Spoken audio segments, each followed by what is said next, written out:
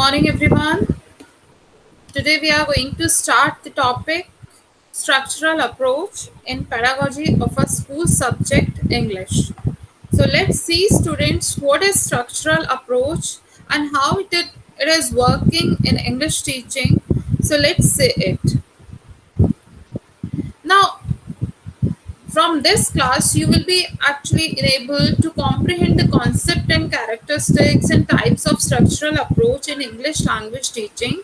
And you will be well versed. I, this is my objective of today's class that you must know about uh, structural approach, what it is, and its introduction, then principles, everything you will be knowing in detail. And I suppose students that you will be studying properly and you will be learning that. Now let's discuss about structural approach, what it is and how it is seen in English teaching. Students, I have already taught you about situational approach also. So this is also popularly known as structural oral situational approach. And it came into being as an alternative to the uh, alternative to the direct method of teaching English and based on the assumption that language can be learned through a scientific selection and grading of structure. That means if we want to um, if want to teach our students then we have to make some scientific structures. We have to make some uh, good structure for the students so that our students are learning more effectively okay so this is uh, actually a scientific selection and grading of structures and then patterns of sentences and vocabulary is very much unique for the student. And now it is in the words of menon and patel that the structural approach is based on the belief that in the learning of the language mastery of structure is important than the acquisition of vocabulary. So all of you know that when we are learning about foreign language or uh, the vocabulary or the English is a foreign language in Indian classroom. So we know it that uh, when we are learning it, we have to be very particular with the structures. Many students know the vocabulary, they know its meaning, but they don't know how to use it in a proper structure. And that is the only reason that people are not actually and students are not comfortable in speaking uh, speaking the language wherever it is required.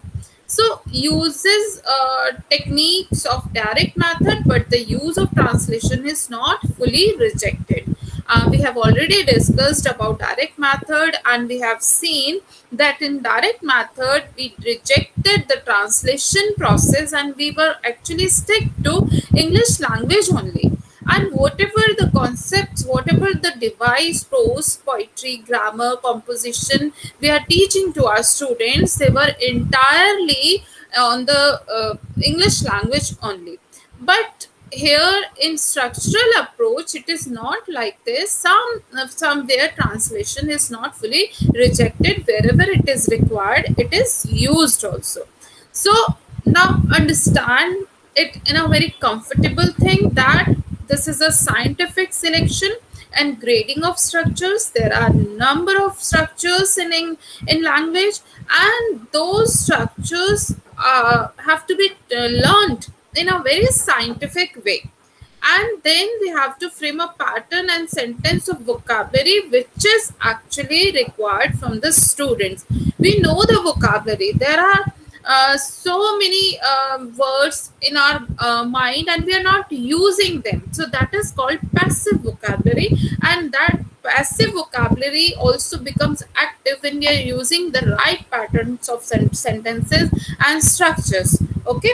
So this is the little introduction of structural approach students. Now we are learning ahead popularized by Tamil Nadu and from state in the 60s, Central Institute, Institute of English Hyderabad and popularized it. So these were the state students who popularized, uh, which popularized and made it famous. Uh, what we are talking about structural approach. Okay.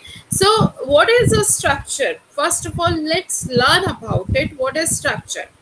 So structure may be defined as the tool of language. This is the tool of language that we are using to use it. We are not comfortable in using the tool of language when we are actually not confident. So structure is teaching you to be more confident and it is giving you some sort of uh, self confidence what should i say to to use the um, language with your comfort level so language tool includes sound. These are all the uh, vocabularies. These are all the terms which i'm giving you. These are called language tools so remember sound stress rhythm intonation vocabulary structures and pronunciation articulation. These are the terms which are the uh, considered which are considered as tool of language so just imagine students if these all terms are away from our language if we just make it apart from that so uh, will it be possible to learn the english language or any other language?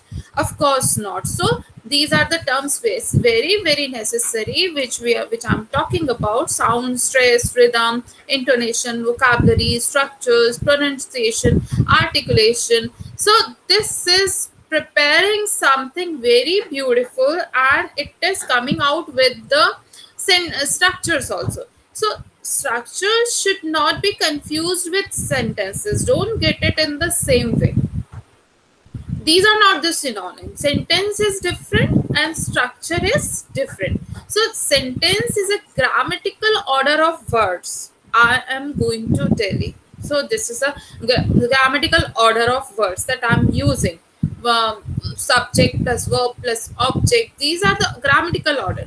But structures need not have any grammatical background. It is not necessary that when we are preparing the structures and when we are teaching our students with the help of structures, so it is not necessary they are following some grammatical background, solid grammatical background. So understand like good morning, thank you, etc and also the structures with what we communicate. When you wish me when i enter in the class good morning ma'am. So this is not the uh, proper sentence what you are following. But you are also making it a structure. Uh, but you are giving it a uh, giving it a very good meaning beautiful meaning. So understand it in that way okay so important thing to remember about structure that it is defined as a tool of language number one. Number two tool when we are talking about tools so it includes sound, stress, rhythm, intonation, vocabulary, structures, pronunciation, articulation uh, in the tool itself and they don't get confused. Sentences with structures structures are different sentences are different. What are sentences? Sentences are grammatical order of words and structures are something that you give proper meaning but it is not necessarily that you are following some grammatical background behind that. Okay students? I hope you are understanding. Yes ma'am. Yes ma'am Thank you for your feedback. So sentence patterns are those structures.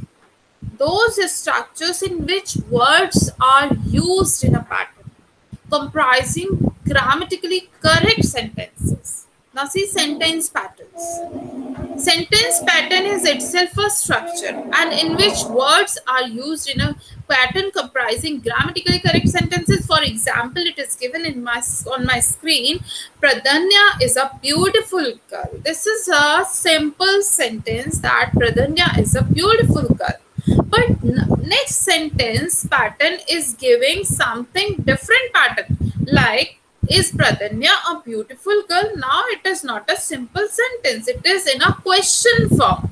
So grammatically correct and following a different pattern these are the structures then a beautiful girl is pradanya so this is something that i'm telling in a, a very uh, assertive way that beautiful girl is pradanya so same vocabulary items same vocabulary is uh, there are some uh, items like pradanya is a beautiful girl these are all words uh, actually used in different manner So, but all the sentences give different meanings due to the different arrangements of these vocabulary items. So, are you understanding, students? Yes, So- ma'am. this is something that one one sentence pattern is giving different to each other. So next now let's discuss about types of structure. I have told you this is a pattern. So let's discuss about types of structure. Now there are four types of structures mainly sentence structures phrase structures idiomatic structures routine structures. There are four sentence phrase idiomatic and routine structures. So let's study them one by one. Now sentence structure students. The important part of a sentence what what is sentence structure? So the important part of a sentence subject and predicate. Occupy a fixed place. If they change the meaning also changes so that is the sentence structure. I told you that there are some fixed set of words which is which is used in a particular sentence. If it is changed if it is exchanged somehow the sequence is exchanged order is exchanged then there would be a different sentence. So rohan gave a pen to priya. Priya gave a pen to Rohan. Now the difference is there. In earlier sentence, Rohan was giving pen to Priya, but in second sentence, Priya was giving pen to Rohan. Same vocabulary is used, but by replacing the word order, that is subject, object, position. Okay, so the meaning is changing. So this is sentence structure. So while writing a sentence, we use following structures like subject plus verb. We can see subject plus verb, birds fly. So this is something that we are using in sentence structure. And then subject plus verb plus observe. It is a table. Then subject plus verb plus uh, that is uh, complementary. That is uh, the sun is bright. Then subject plus verb plus indirect object. Then direct object is also there. The teacher gave us notes. So this is something that we are following in a structure that all of you have studied in your previous classes also. Then subject plus verb plus to infinitive that she wants to learn. So this is something that we are changing the structure. Then subject plus verb plus gerund. He begins crying. So understand students, uh, we are reading, we are studying the types of structures and in this first um, type which I'm telling you that is a sentence structure. In sentence structure, it is important to understand that subject and predicate occupy a fixed place. But if we want to change their meaning, they change their place. Okay, understood? Now, next is about phrase structure. Phrase is something, it is called that group of words that gives meaning even without it being a sentence. We are not framing a full sentence upon it. And we are using some group of words only and it is giving a beautiful meaning. If I tell you, okay, have you understood students? This is a full sentence. If I uh, ask only understood, even you understand that ma'am is asking if we have understood or not. So the pretty flower.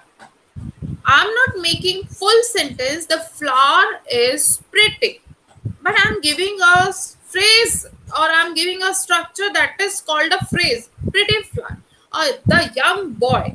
So these are something that follows the structure of phrases, and this order cannot be changed. Pretty flower will be pretty flower. It cannot be flower pretty. Young boy, young boy uh, will be same boy young cannot be there. So phrase structure is always there. There you cannot change their order. In sentence structure you can change or replace object or verb to get a different structure get a different meaning from the same vocabulary. Okay? So this is phrase structure. Now let next let's see the third part that is idiomatic structure so students, these structures or idiomatic structure contain their own specific meanings. idiomatic need not have grammatical units. They are so composed that if we split them, they lose their meaning. It is something that we are actually not going to break them. If we are going to break them, we are going to split them, they will be actually losing their meaning. You will not have a good uh, word. Like, see, in vain. In vain is we are understanding that everything is spoiled, whatever is done till now. Then we use this idiom all of the sudden. Just remove one word. Of the sudden will be okay. No. All of the will be okay. No. You cannot split it. You have to speak like all sudden. No, it is incorrect. Then in black and white, it has certain meaning. What it is in black and white. Red-handed got red-handed. So these are some idiom structure which are not having grammatical units itself. And they are so composed that if we split them, they lose their meaning. So this is about idiomatic structure that they have, they contain their own specific meaning. Now we have understood about sentence structure, phrase structure, idiomatic structure. Now let's understand about routine structure. So what is the word routine? routine which we follow okay which we follow every day or it is in routine so this is the meaning of that word so routine structure consists of such group of words which are used by us in a day to day conversation or on certain occasion. Proper word order is maintained. What we are using every day. Okay good morning students. Can you see my presentation? These are some routine structures. So have you understood? So everyone do your homework in your notebook. So this this is something is called in routine structure. So this was all about types of structure students. Now structural approach we are understanding about characteristics there are so many characteristics of structural approach and there are 275 just remember it 275 structures from the core of essential english which students at secondary school stage must know structures are based on word orders. Some word orders are actually followed and prepared in the form of structures and these structures can be of sentence structures idiomatic phrase or routine structures. And every structure expresses an important side of grammar and need not to follow the full grammar. I told you in the beginning that we are not supposed to follow the full grammar part in that but somewhere it is there important side of grammar is there that we are using in that the structures are carefully graded to give a clear picture of the form and meaning only meaning of one word is taught at a time so understand this thing very carefully. The structures are very carefully graded to give a clear picture. What you want to convey to your students, what you want to convey to your classmates, what you want to convey to your teachers. It should uh, have the clear form and clear meaning. There should not be any ambiguity and only meaning of one word is taught at a time to as a directive and then as a part of infinitive to go to post to write etc these are also the structures which we are using now students uh, we are going to discuss about aims of structural approach. What what is the objective and aim of structural approach? Why we are using it in the classrooms? So now understand it that first of all, it is very important to lay the foundation of English language. By establishing drill and repetition of 275 structures of the English language. To enable the learners to attain the mastery of over an essential vocabulary of 3000 root words. Students must know actually 3000 root words when they are understanding the structures of English language. And then third is very important to correlate the teaching of grammar and composition with the reading. The more you read, more you get to know about your structures. So it is correlating something, grammar and composition then to teach the four fundamental skills which are definitely we all know about it lsrw listening speaking reading and writing in the order name so first of all listening is uh, there then speaking is there then reading is there then writing is there. So this structural approach is following to enhance these following these uh, four uh, fundamental skills. Then another aim is to lay emphasis on oral oral and oral approach and the condemnation of formal grammar for its own sake see students when we are learning english language it is not necessarily uh, required that uh, we are using fundamental or very traditional grammar style when we are speaking so structural approach actually giving us the idea that to convey your meaning, convey your full form of meaning when it is required in proper structures. And according to the situations, we have read it in the situational approach. Now we are going to study about principles of structural approach, how these principles are actually uh, seen or why it is so important that to see the principles of structural approach now first of all students i want to tell you that whenever we are looking at the principles of something approach or concept or anything that means we are understanding how this concept or the thing or the content works how it is uh, giving it orientation to others how it is working in a functional way.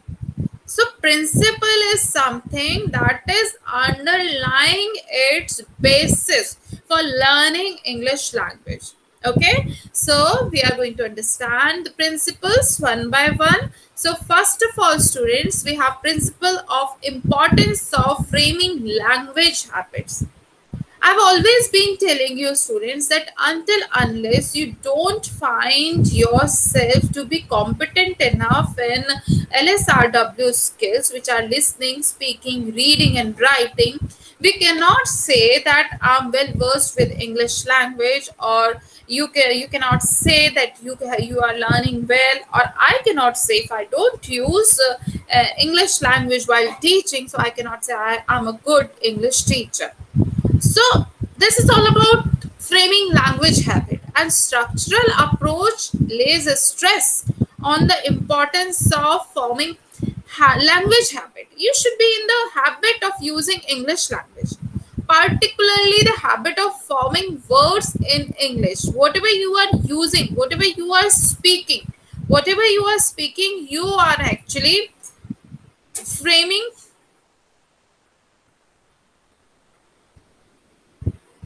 English language. Importance of speech. The second is the second important part is importance of speech. So first of all, you have to develop language habit and the second part is importance of speech. Speech is something that you are giving in spoken form so students, it is very important to understand the structural approach is based on the principles of effective use of speech. When I'm using some instructions to you, study well, prepare well for your exams. So I'm giving you some structures in speech form.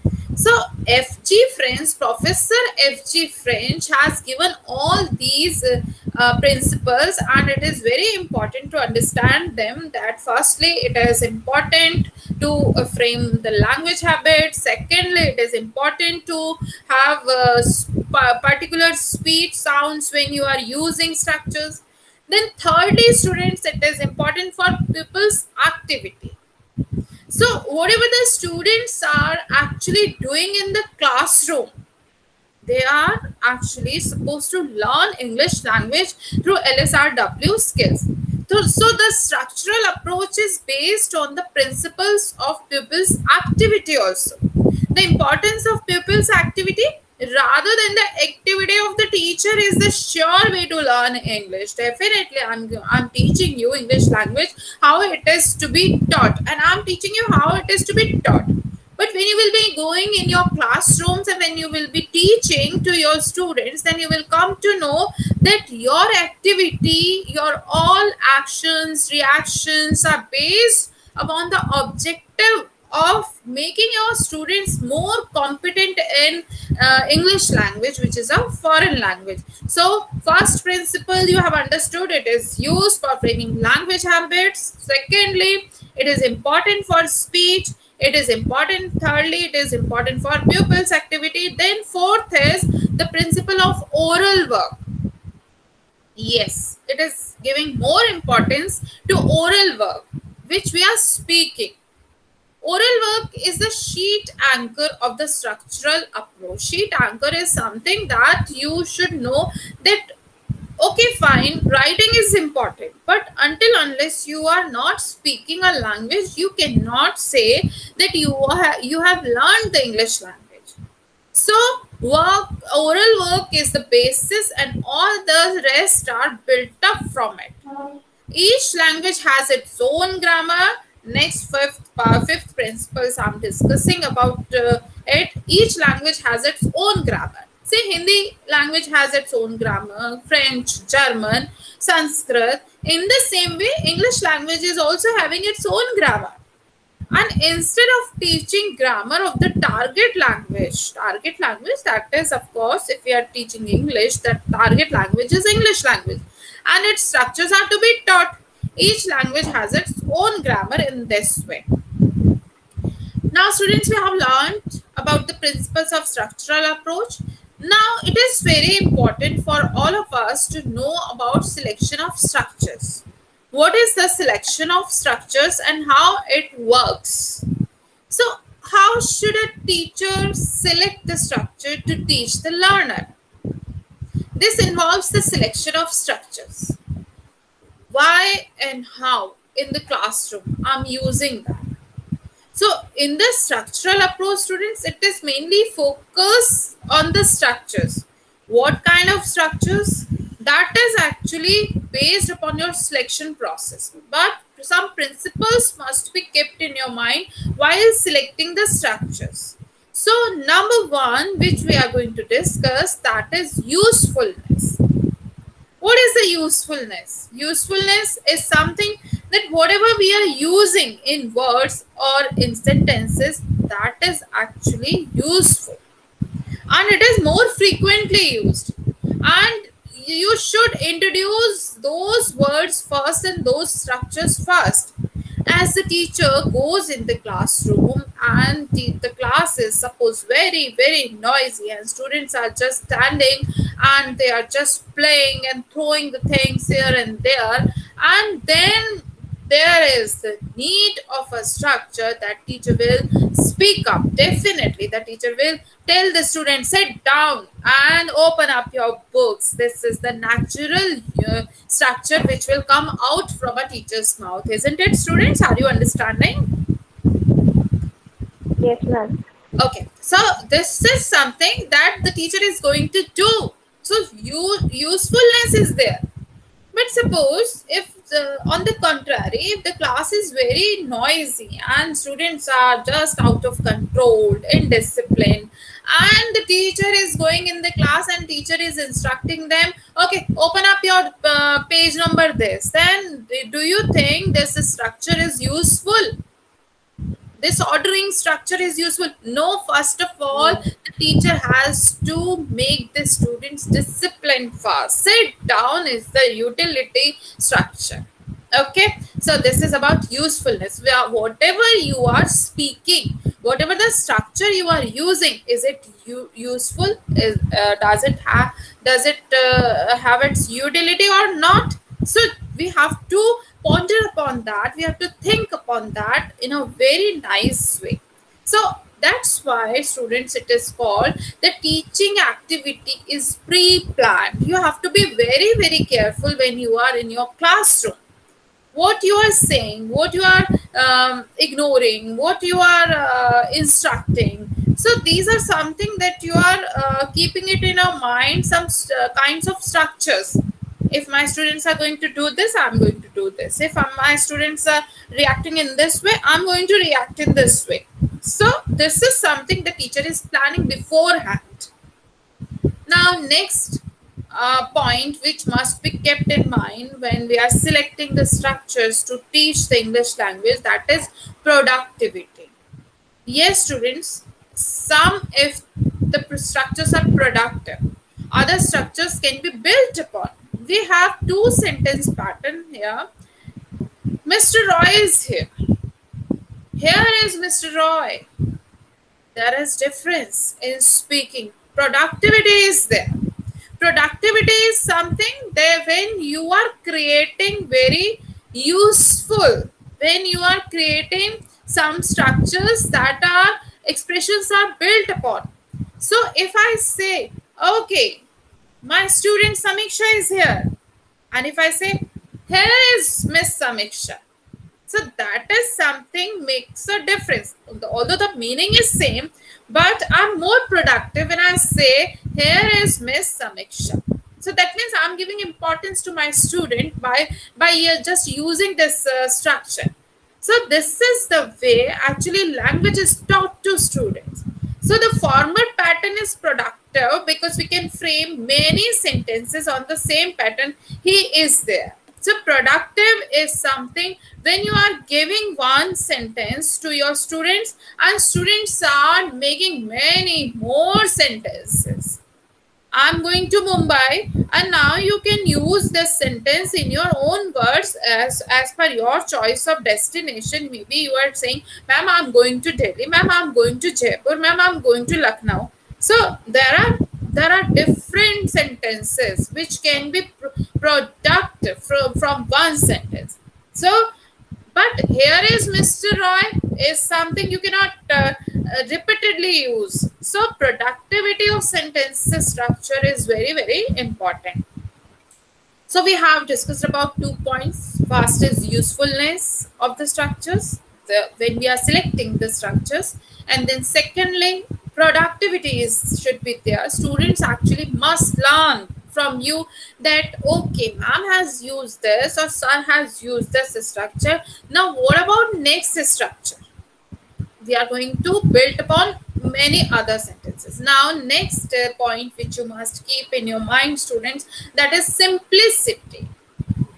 Simplicity is something depends upon the form and meaning of the sentence so this should be in your mind that you are not going to actually inculcate uh, uh, so many difficult words or very uh, typical words in your speech which are not easily understandable. Keep it simple so that your students are motivated to understand the English language. And not only motivated to understand, but also to apply it in their routine structures also. So it is actually very much the impact of the student and very much impact of the teachers that if the teacher is using simple sentences which are actually hitting the mind of students and the students are feeling comfortable okay ma'am is using such simple sentences I, I can also answer in the class. So this is actually building their confidence.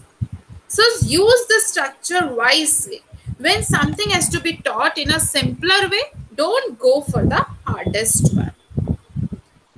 Now, next point you should keep in your mind while selecting the structures that teachability.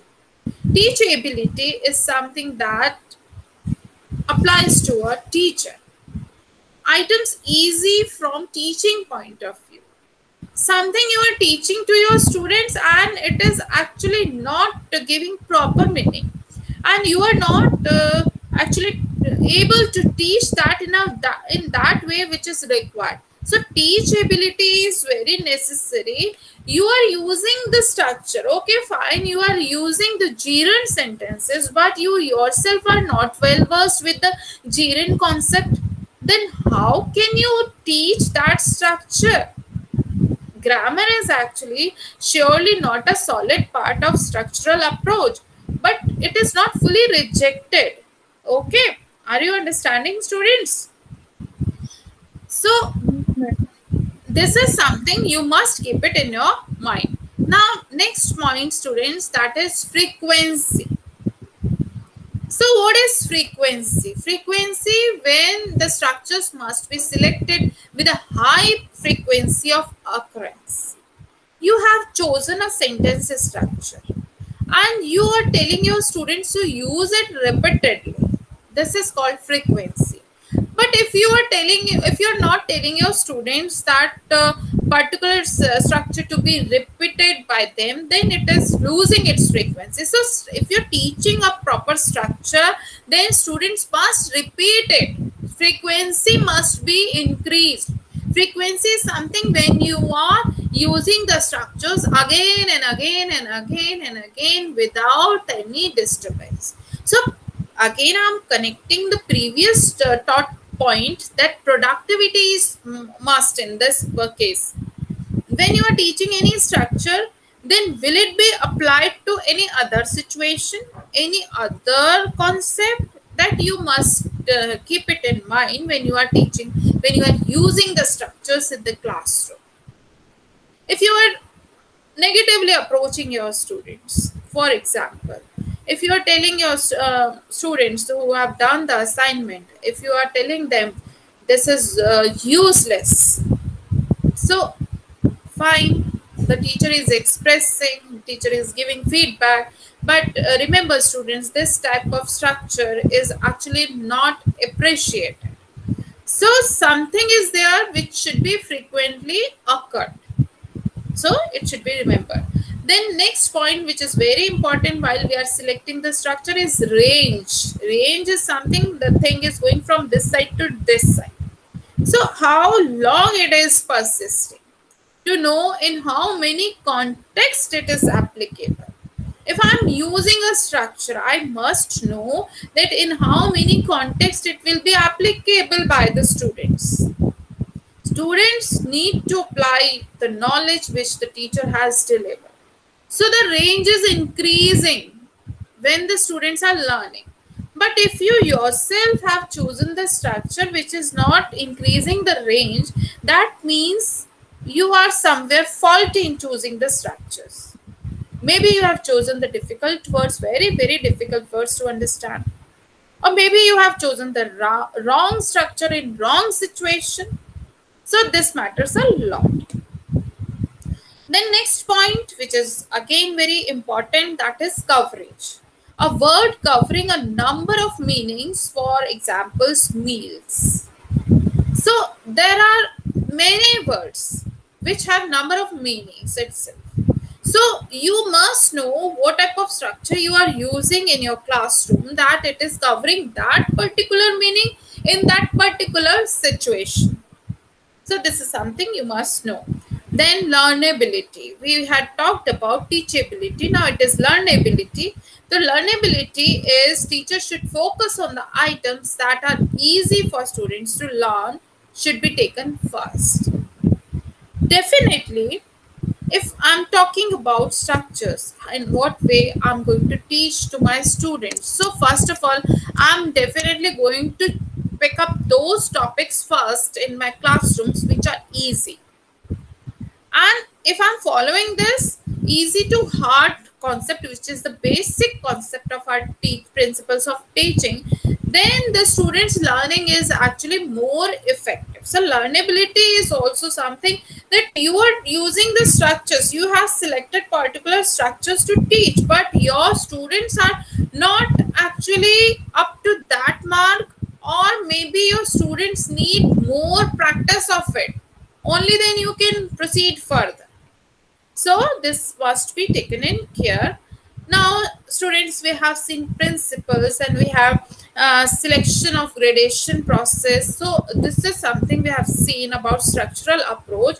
Now, let's see the advantages of structural approach which facilitates um, the structural approach. And now let's understand them one by one. So advantages, we are talking about of structural approach. So first of all, it facilitates the learning of the English language by imparting the knowledge of its structures. So how the sentence is framed? In what way? Sentence structure, where the words are just shuffled from here and there to give different different meanings, or phrase structures, idiom structures, or the routine structures. So whatever we are using, whatever type of structure we are using, it is giving us the benefit of learning the English language. Then secondly, it focuses on sentence pattern and a lot of practice. Learns the language before read or write it. So when you are reading or writing, you are learning that language beforehand when you are understanding what your teacher is telling you see small students are very smart. They follow their teachers very uh, rigid way. So this is something that they learn that okay we should not speak this we should we should not speak like this and we must do a lot of practice to speak in a different or correct way. So number one advantage is it it is imparting the knowledge of structures and then secondly it is focusing on sentence patterns what sentence patterns we are choosing every day. Then by learning the structures of sentences the learner automatically learns some grammar. It is like students teaching the grammar in indirect way. When i'm teaching you one uh, concept like preposition in grammar and then the, i'm going to tell you about what is preposition, types of preposition. Then I'm going to uh, give you some drill exercises that, okay, uh, preposition on, in, among, between, and etc. So many prepositions are there. So, so how the prepositions are used. I'm going to be focused on those particular sentences which are having the uses of preposition. But the structural approach teaches this in indirect way it means there is in the mind of students see students as if um, the male and female in hindi language they speak differently मैं खाता हूँ this is spoken by a male it is assumed or not मैं खाता हूँ is it that uh, does a girl speak does a girl speak like that no No. And the girl speaks, Main khati hu. So this is indirect training. Nobody has taught, but the, it is like following automatically. So how the words are ordered, how the words are used, how the sentence is framed, how the phrases are framed, so the common errors can be avoided during uh, the speech time in grammar and composition. So this is a wonderful uh, way to teach English language or to uh, um, has the interest among the students. So it also enables learner to speak the language fast and which is very important. If we are okay fine we are good in listening english language we are good in reading that we are good in writing that but structural approach gives you more opportunity gives your students more opportunity to learn to speak the language first. And this is the main objective of this target language. If we are not uh, competent enough to speak in English language. So we cannot assume ourselves as well as our students that they are learning a foreign language in a very nice way and they are well versed with it. So this is the biggest advantage of it. Then next advantage, which I'm always uh, telling you that it teaches all four skills, listening, speaking, reading, and writing. These are based on on scientific principles. Structures are based on scientific principles. At every stage, the objective is clearly defined. The students are actually very much confirmed what they have to speak and teacher is also confirmed what I have to speak. If I'm asking a question, definitely my tone would be in that way. If I'm declaring some sentence, declaring something, then it would be in a declarative form assertive form, exclamatory form, in any form. So there are some scientific principles which the students are also learning hand to hand. Then habit of speaking English is developed right from the beginning. If small structures or phrase or idioms are also used, basically phrases are used uh, more than the idioms. So if it you just see the impact of using the phrases more in your language. It, it develops your habit to use the English language in spoken form more and more. And the biggest advantage for Indian students that this type of drilling helps in removing the hesitation among the students there are many students who are confident enough in english language and they can write well they can listen well they can read number of good books but they hesitate in speaking so this type of structural approach when the teacher uses in the class i told you in the direct method that only only target language is used. But in this we are not strictly following that rule. We are not following uh, strictly because we are using sometimes the uh, mother tongue or maybe regional uh, language uh, in most cases when we are using phrases.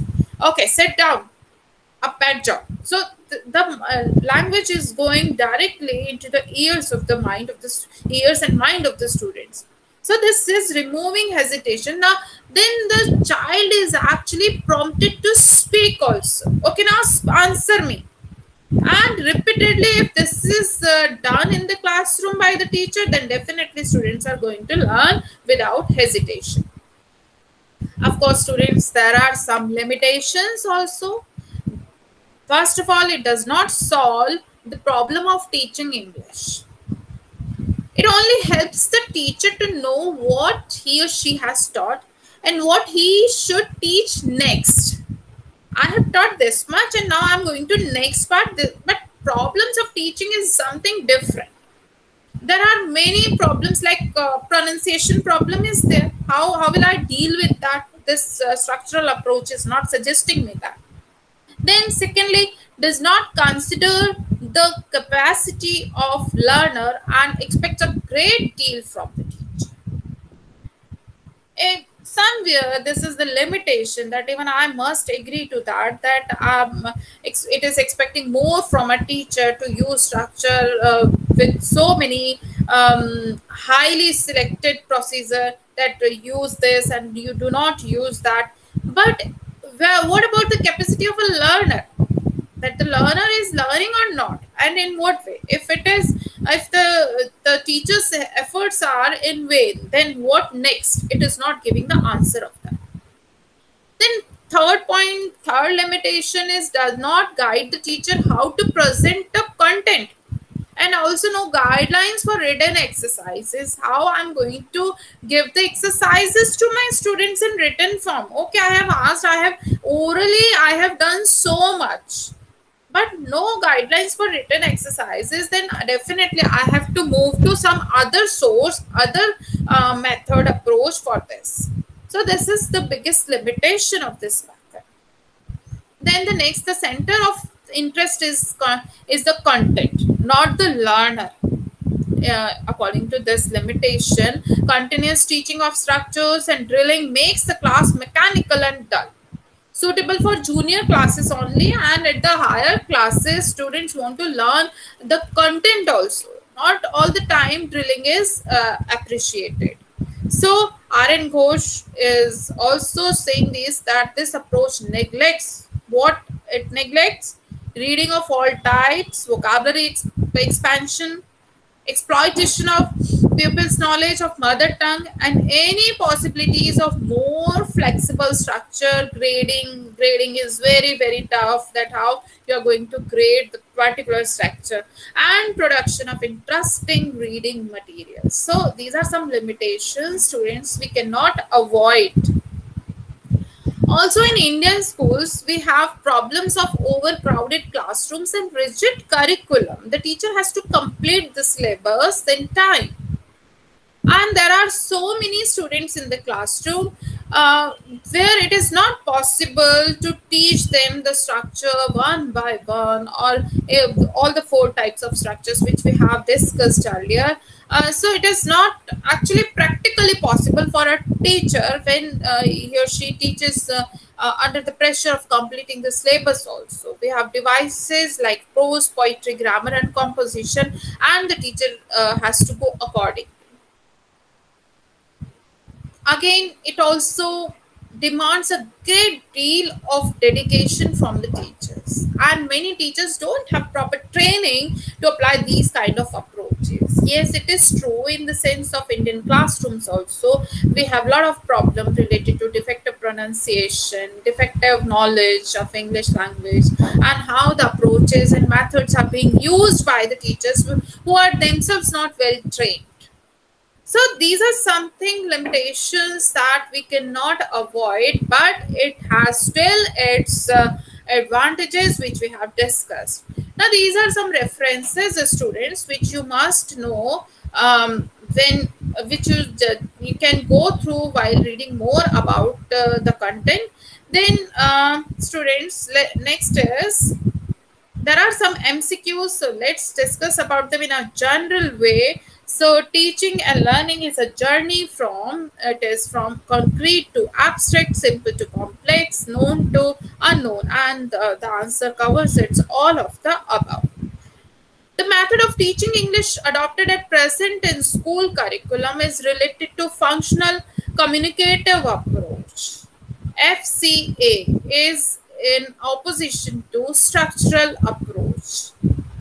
Now, communicative language teaching replaced basically by the structural teaching. Structures are being taught. So it is not in natural language processing, situational language teaching, motivational teaching. It is from structural teaching. And now uh, direct method is also known as natural method method. It is also called natural method in which the English is uh, spoken as a target language and only English is used. Then grammar translation method stresses on accuracy uh, it is stressing more on accuracy rather than any other skill which are given to you. Fluency appropriateness listening skill these are also very important. But more stress when we are talking about so accuracy is more important in grammar translation method. We also call it gtm then grammar translation method is basically used to teach classical language. So it is used to teach classical language and the next objective of direct method is to develop a command over the target language. Grammar translation does uh, method does not enhance a student's communicative skill and traditional method goes against the uh, goes against the pedagogic principles. So students, these are actually the sort of uh, presentation, this sort of presentation given by me on the structural approach, and we have discussed a lot about uh, how the structural approach is working, what are its characteristics. We have seen the types of structures.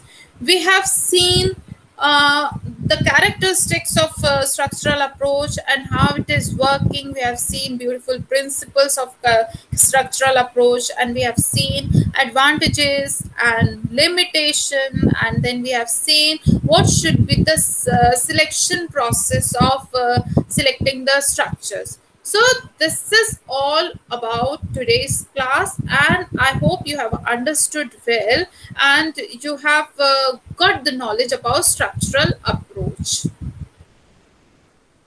Yes.